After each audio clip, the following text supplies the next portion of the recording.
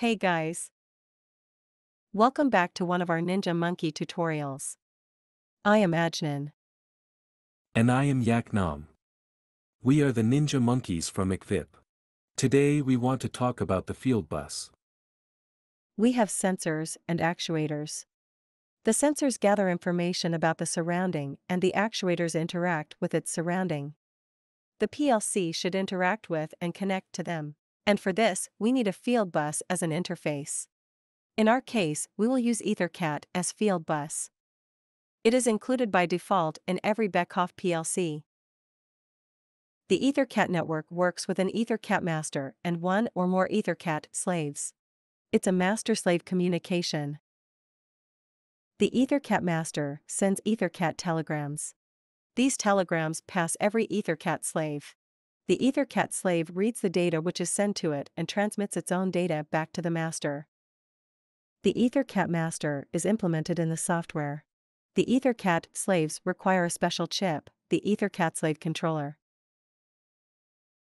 Now we will show you how a cycle in the EtherCAT network looks like. We have our big warehouse here. It's our PLC with an integrated EtherCAT master stack. The big warehouse has a truck, which brings packages to some little warehouses. The truck is the EtherCAT telegram with output data for the slaves. The slaves have a certain number of bytes for input and output data. The output data is for example for the actuators and the input data comes for example from the sensors. The truck from the big warehouse comes with a lot of packages. Every little warehouse checks which packages are for them and take them. Some of the little warehouses pass back packages or orders. The truck picks them up and drives to the next warehouse. Some of the warehouses don't get any packages from the truck and just return packages.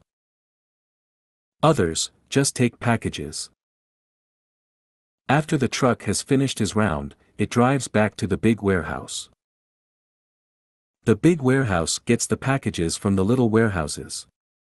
The data from the EtherCAT slaves get back to the PLC and can be used directly in TwinCAT 3. That's basically how the EtherCAT network works. Thanks for watching our video. If you want to learn more about TwinCAT 3, watch our other tutorials.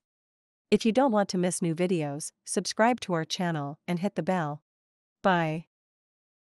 Bye bye.